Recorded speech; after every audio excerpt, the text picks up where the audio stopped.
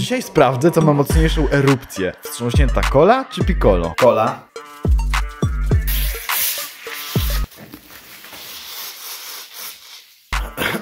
Mocne. Piccolo.